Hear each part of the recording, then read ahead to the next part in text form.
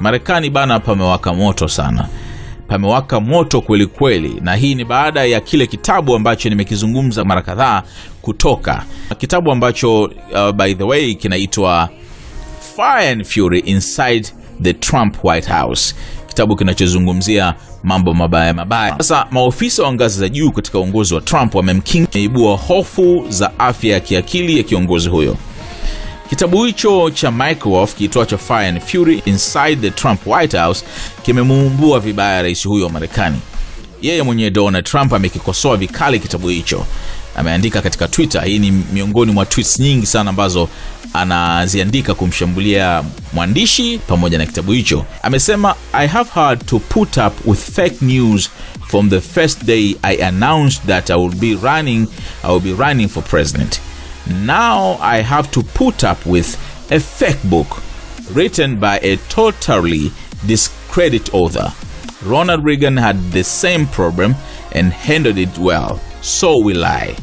Anamaanisha kwamba natakiwa nilitakiwa kuvumilia habari za uongo tangu siku ya kwanza natangaza kwamba nitagombea uraisi, na sasa nahitaji kuvumilia kitabu feki kilichoandikwa na mwandishi asiye na sifa kabisa. Ronald regan alikuwa na tatizo kama langu lile lile na alilishughulikia vizuri, mimi pia nitalishughulikia vizuri. Alimaanisha kwamba Ronald regan pia rais wa Marekani wa zamani, alihisiwa kwamba ana tatizo la kiakili ambalo pia Donald Trump wanamhisi kwamba ana tatizo pia hilo.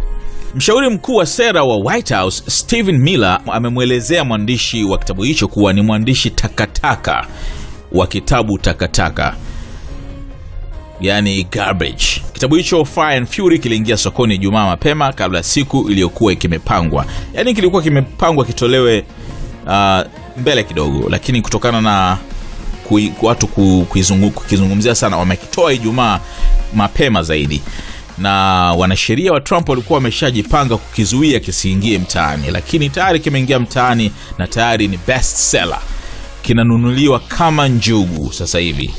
Na by the way, niliona katika group moja kitabu hicho kimetumwa, nikaona watu washakipata. Uh, kilitoka Ijumaa na mimi pia nilisema kwamba na, navutiwa sana nikisome pia nione jinsi ambavyo kimeandikwa. Kitabu hicho kinaeleza kuhusu timu ya Trump kushangazwa na ushindi wao usiku wa uchaguzi, huku wafanyakazi wa ikulu wakieleza kuhusu kudorora kwa uwezo wa kiakili wa Trump na maafisa wakuu wa utawala wake wakimuita zoba.